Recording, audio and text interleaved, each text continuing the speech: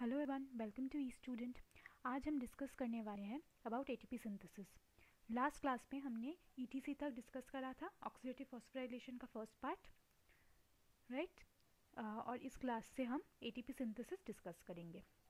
Okay okay, तो ATP synthesis में सबसे पहला एक एक्सपेरिमेंट छोटा सा हम पढ़ लेते हैं. अगर हम एक uh, कुछ सेल से माइटोकॉन्ड्रिया को आइसोलेट करके उसका सस्पेंशन बनाएँ और उसमें एडीपी और पीआई ऐड कर दे तो बस इससे कोई एटीपी सिंथेसिस ज़्यादा देखने को नहीं मिलती है।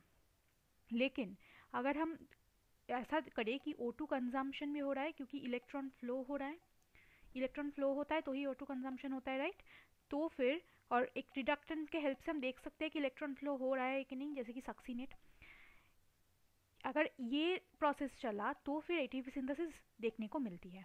ठीक है? तो फिर मतलब कि रिडक्टेंट यानी कि सक्सीनेट वगैरह के एडिशन से इलेक्ट्रॉन फ्लो बढ़ता है तो फिर एटीपी सिंथेसिस देखने को मिलती है। तो फिर एटीपी सिंथेसिस अभी होता कैसे है? एक एंजाइम होता है, जिसका नाम है एटीपी सिंथेस जो कि माइटोकॉन्ड्रियल इनर मेम्ब्रेन में प्रेजेंट रहता है।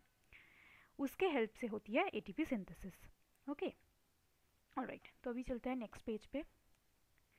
इनिबिटर्स क्या क्या है? इनिबिटर्स के बारे में ज़रा पढ़ लेते हैं ओके तो cyanide carbon monoxide antimycin A अगर ये हम लोग ऐड करेंगे तो फिर बोथ ओ टू कंजम्पशन और एटीपी की सिंथेसिस ब्लॉक हो जाएगा। क्यों?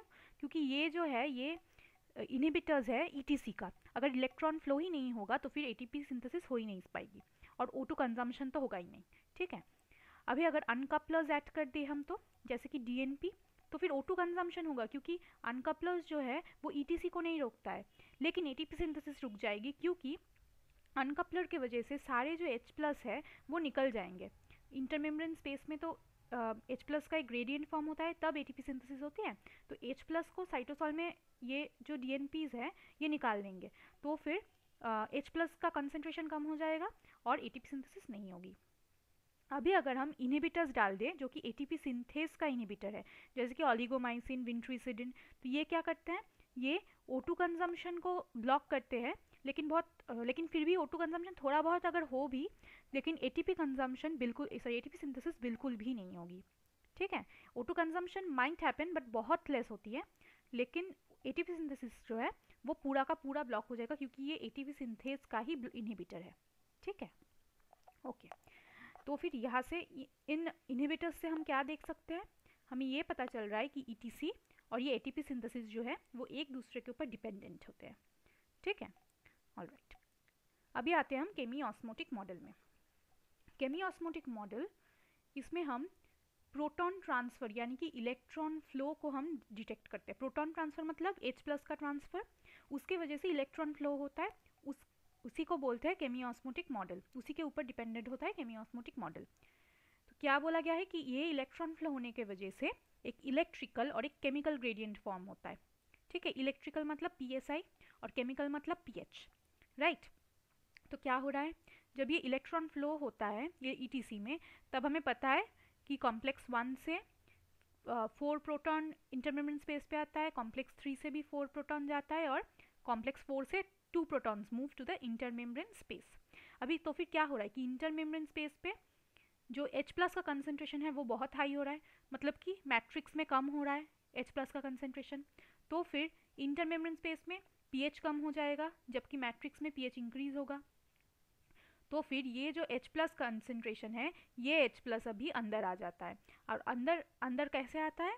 ये ATP सिंथेस के हेल्प से, और ये ATP सिंथेस एडी ये थ्री एच प्लस को अंदर लाने के लिए ADP प्लस पी से ATP बनाता है। ठीक है? ओके तो फिर यहाँ से हमें क्या मिल रहा है? जानने को मिल रहा है कि मैट्रिक्स में इलेक्ट्रिक पोटेंशियल जो होता है वो नेगेटिव हो जाता है। क्यों? क्योंकि सारे एच प्लस जो है वो बाहर मूव कर रहे हैं। There therefore in intermembrane space पे क्या होता है? इलेक्ट्रिक पोटेंशियल पॉजिटिव होता है।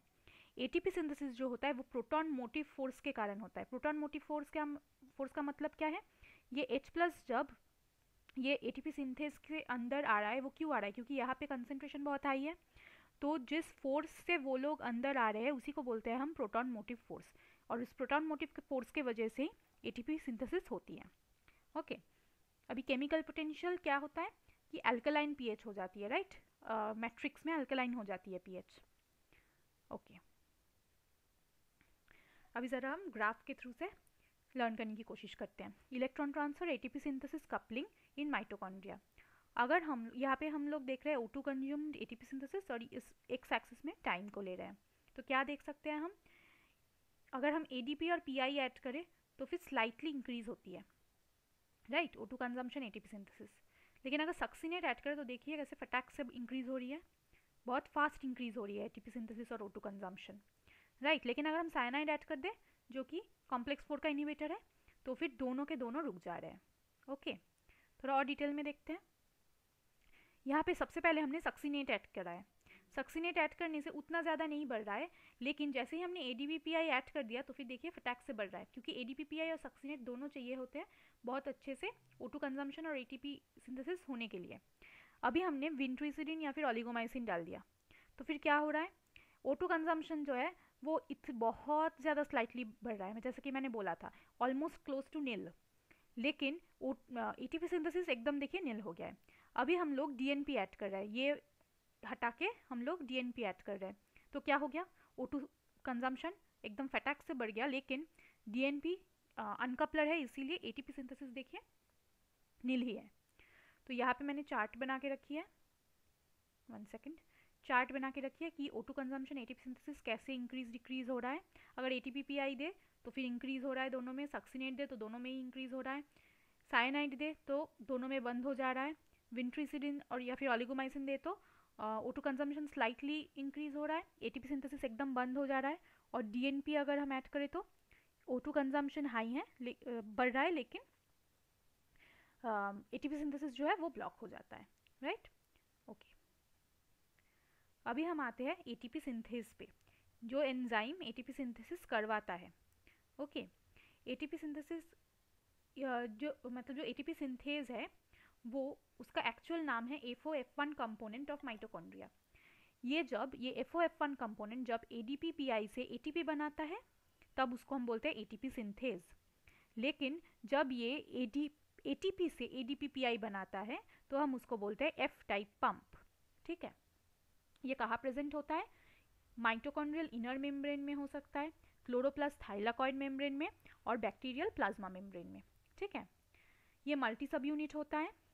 इसमें दो कंपोनेंट होते हैं, एक होता है F zero F one F zero जो होता है वो ट्रांस मेम्ब्रेन होता है इंटर मेम्ब्रेन स्पेस पे।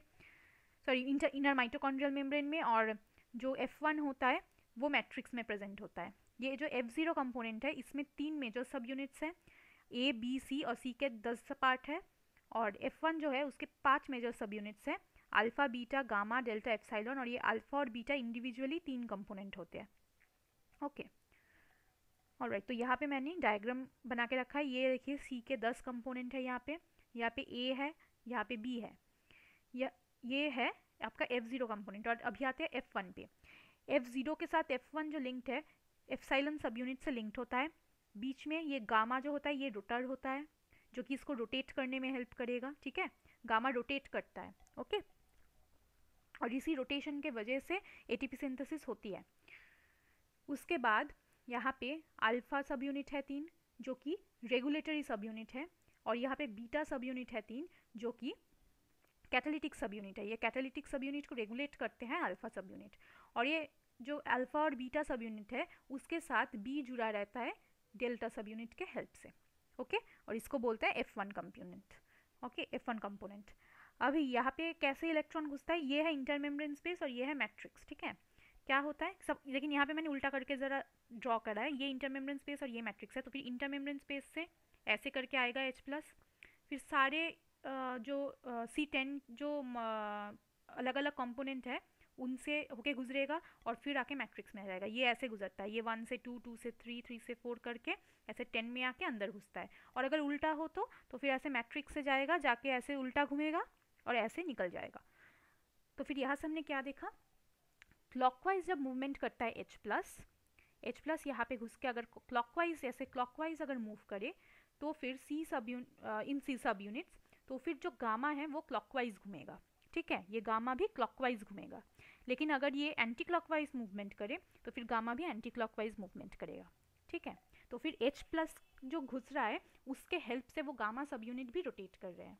ओके राइट अभी anti clockwise movement of gamma anti clockwise movement जो होता है गामा सब यूनिट का वो ही हेल्प करता है। सी सब यूनिट में आ, मतलब वही मैंने लिखा है कि एंटी क्लॉकवाइज मूवमेंट करता है अगर गामा तो फिर एच प्लस जो होते हैं help move H plus in C sub units anti clockwise ठीक है? सी सब यूनिट्स में भी एंटी क्लॉकवाइज तो फिर एच प्लस मूव करेगा। ठीक है? अभी अगर गामा क्लॉकवाइज रोटेट करे तो एटीपी सिंथेसिस होती है। अगर एंटी क्लॉकवाइज रोटेट करे तो एफ़ टाइप पंप के जैसे काम करता है। ठीक है? और यहाँ पे कैटालिसिस कैसे होता है? रोटेशनल होता है, क्योंकि यहाँ पे हम देखेंगे कि गामा जैसे रोटेट कर रहा है, उसके वजह से कैटालिसिस हो रही है। और कैटालिसिस करता कौन है? बीटा सब यूनिट ठीक है? ऑल राइट वन सेकेंड यहाँ पे मैंने डायग्राम बना के रखा है। इंटरमेम्ब्रेन स्पेस से थ्री एच प्लस आ रहा है। गामा को रोटेट कर रहा है। 360 डिग्री क्लॉकवाइज तो फिर A D P P I से ए टी पी बन रहा है। और अगर उल्टा हुआ तो? एटीपी से ए बनेगा तो फिर एनर्जी के वजह से क्या होगा? एंटी क्लॉकवाइज मूवमेंट होगा 360 डिग्री गामा का, और 3H प्लस निकल जाएगा टू इंटरमेम्ब्रेन स्पेस यह है एफ़ टाइप पंप ठीक है? तो फिर rotation of gamma helps in conformation changes of beta sub unit अब ये जो बीटा सब यूनिट होता है, इसके तीन कन्फर्मेशन होते हैं. ओपन लूज टाइट हर एक बीटा सब यूनिट कभी ओपन होगा, उसके बाद वो लूज कन्फर्मेशन में आएगा, उसके बाद टाइट कन्फर्मेशन में आएगा. ओपन में क्या होता है? वो एटीपी लॉस करता है और जब लॉस करने के बाद एडीपीपीआई से बाइंड करता है। जैसे ही वो एडीपीपीआई से बाइंड कर गया तो वो बन गया लूज ओके इस वाले सब यूनिट में कैटलिसिस होता है एटीपी से। जैसे ही एटीपी कैटलिसिस हो गया तो फिर वो बन जाता है टाइट उसके बाद फिर से वो ओपन बन के ए को छोड़ देता है और फिर से बाइंड करता है A D P P I से ओके ओके देखो three sub units of beta in three different conformations ठीक है? क्या हो रहा है फिर? ए से ए घुस रहा है ओ में और ओ से ही ए निकल रहा है। तो ये मैंने बोल दिया ओ से एल होता है एल से टी होता है टी से ओ होता है। हर एक sub unit no rotation of beta sub unit beta sub unit का एक्चुअली में कोई रोटेशन नहीं होता है। रोटेशन होता है एच प्लस का, जिसके वजह से गामा सब यूनिट रोटेट करते हैं। ओके अभी ये कितने एच प्लस लगते हैं गामा सब यूनिट को पूरा 360 डिग्री रोटेट करने के लिए? थ्री एच प्लस लगते हैं ओके तो एक्चुअली में थ्री एच प्लस से three A T P formed होता है, क्योंकि हर एक सब यूनिट से एक एक करके ए टी पी फॉर्म्ड होगा, ठीक है? ऑल राइट इसकी यहाँ पे देख, देखिए एक बार three H plus each one twenty degree rotation होता है गामा का, ठीक है? तो फिर वन थ्री एच प्लस की वजह से थ्री सिक्सटी डिग्री रोटेशन होगा गामा का तो फिर one three sixty degree rotation की वजह से तीन एच प्लस अंदर आएँगे और तीन एच प्लस मतलब थ्री एच प्लस की वजह से one three sixty degree rotation होता है तो फिर three A T P form होगा, क्योंकि हर एक sub unit A T P form करेगा, ठीक है? ओके तो ये जो पार्ट है, यहाँ पे हम लोग डिटेल में समझ लेते हैं। क्या हो रहा है देखिए, पहले बीटा वन को लेते हैं। बीटा वन सबसे पहले ओपन में आया ATP छोड़ा ADP लिया, ठीक है? और फिर क्या हो गया? वो ए डी से बाइंड करके एल हो गया। उसके बाद क्या हो गया? वो टाइट हो गया, जैसे ही एटीपी बाउंड हुआ। और फिर ये वापस से बी वन हो जाएगा जब ए को छोड़ देगा। सिमिलरली ऐसा ही होगा बी टू के साथ, जहाँ पे ये ए बाउंड है तो फिर वो एटीपी बनेगा। एटीपी और और उसके बाद वाले कन्फर्मेशन में एटीपी को छोड़ देगा। Similarly for B three beta three जहाँ पे एटीपी बाउंड है, यहाँ पे वो एटीपी को छोड़ेगा ओपन होगा, फिर उसको, ये लूज हो जाएगा ए के साथ बाउंड होके। तो फिर थ्री एच प्लस के वजह से one full three sixty degree rotation हो रहा है जिसके वजह से हम तीनों सब यूनिट से अलग अलग करके तीन एटीपी मिल रहा है हमें ठीक है? तो इसी के साथ आ, हम एंड पे आ जाते हैं ए सिंथेसिस के। होप कि आप लोगों को लेक्चर अच्छा लगा होगा। मिलते हैं आपसे नेक्स्ट लेक्चर में। Thank you